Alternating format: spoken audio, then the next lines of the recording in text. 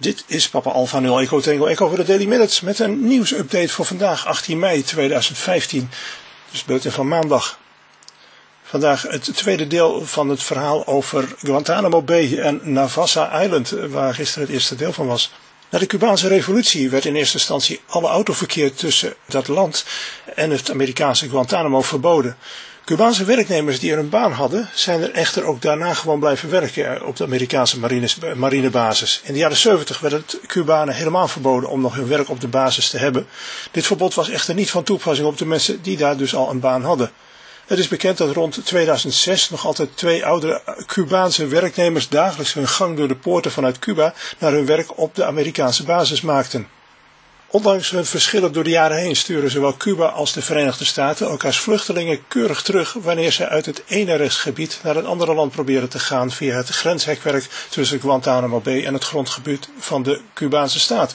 Tussen Cuba en de marinebasis was ooit het op één na grootste mijnenveld op het westelijk halfrond. Deze was er door de Verenigde Staten aangelegd, maar president Clinton gaf in 1996 opdracht tot verwijdering ervan.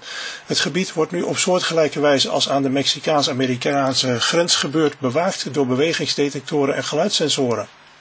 In de laatste ongeveer 25 jaar van de 20e eeuw tot aan 1995 werd de basis gebruikt als gevangenenkamp voor Cubaanse en Hadjaatse vluchtelingen die op volle zee gevangen werden genomen. Sinds de oorlog in Afghanistan in 2002 is een klein gedeelte van de basis op Guantanamo de thuisbasis van het veel bekritiseerde detentiekamp, waar krijgsgevangenen en vermoedelijke terroristen onder Amerikaanse militaire wetgeving worden vastgehouden buiten de invloed van de normale Amerikaanse wetgeving. De US-marinebasis Guantanamo Bay omvat geografisch gezien de meest zuidelijke helft met toegang naar zee van de grootste natuurlijke haven van het Cubaanse eiland. Het gebied waar de Verenigde Staten sinds 1898 jurisdictie over heeft is zoals gezegd 116 vierkante kilometer groot. Guantanamo Bay is onderdeel van de Cubaanse provincie Guantanamo in het meest zuidelijke puntje van Cuba met als hoofdstad de gelijknamige plaats Guantanamo. Deze provinciehoofdstad heeft ruim een half miljoen inwoners en ligt zo'n 30 kilometer noord-noordwestelijk van de Amerikaanse marinebasis. De provincie zelf ligt ruwweg 75 kilometer over zee verwijderd van Haiti, dat samen met de Dominicaanse Republiek het buureiland Hispaniola bevolkt, wat nog eens extra de strategische ligging van de marinebasis benadrukt.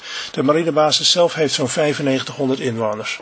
Zo'n 170 kilometer onder Guantanamo Bay en zo'n 40 kilometer uit de kust van Haiti en een dikke 100 kilometer van Jamaica ligt het slechts 5,2 kilometer grote eilandje Navassa Island, dat officieel een territorium van de Verenigde Staten is. Het eiland is onbewoond en wordt als natuurgebied beheerd door de US Fish and Wildlife, de Amerikaanse overheidsorganisatie voor visserij en natuur.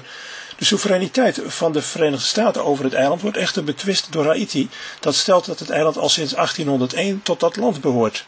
Navassa was ooit interessant vanwege de winning van guano, een zeer krachtige mest gevormd uit de uitwerpselen van zeevogels, vleermuizen en zeehonden. In de tijd werd de guano niet alleen voor mest gebruikt, maar ook om buskruid mee te maken. En het was met name voor, voor winning interessant vanwege de hoge graad aan fosfaat en stikstof en omdat het nagenoeg geurvrij is. De Verenigde Staten in de persoon van ene kapitein Peter Duncan annexeerde het eiland in 1857, ondanks protesten door Haiti.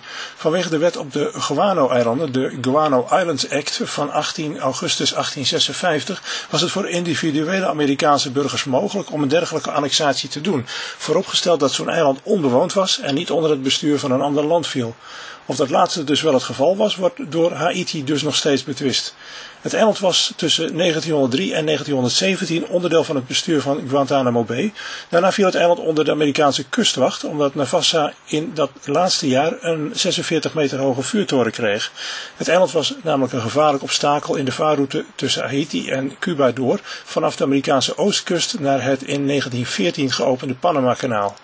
De vuurtoren werd redelijk recent op 16 januari 1996 gedoofd en sindsdien valt het eiland onder het ministerie van Binnenlandse Zaken van de Verenigde Staten. Dit is Papa Alpha 0 Echo Tango Echo. De dagelijkse nieuwsberichten van de Daily Minutes zijn in elk geval de komende weken nog iedere dag om 1900 uur te beluisteren via PI2 NOS. Met een herhaling om half elf de dag erop ochtends. Je kunt ons mailen op het korte mailadres en dat is xapenstaatje.xtv.me. En eerdere uitzendingen zijn te vinden op panelde.nl. Wil je meer nieuws? Kijk dan bijvoorbeeld ook eens op hamnieuws.nl. En kijk zeker eens op hobbyscope.nl, pi3utr.nl of pi610.nl. Daar kun je vinden hoe je deze fantastische repeatersystemen kunt helpen door ze met desnoods een klein bedrag te sponsoren. Tot zover de Daily Minutes voor vandaag. De korte golfuitzendingen van de Daily Minutes zijn dagelijks om 1900 uur Midden-Europese zomertijd te beluisteren op zowel 6005 kHz in de 49 meterband als op 7310 kHz in de 41 meterband. Er zijn de dag erop twee herhalingen, s ochtends om 10 uur op 7310 kHz en smiddags om 14.30 uur op 9560 kHz in de 31 meterband. Dit is Papa Alpha 0 Eco Tingo Eco.